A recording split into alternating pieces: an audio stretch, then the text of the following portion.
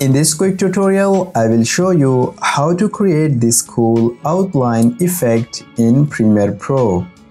So, I have already got this video clip in my timeline. First, duplicate your video layer by holding the Alt key and dragging it up. Next, go to Effects panel and search for Find Edges. Drag that effect onto the top video clip.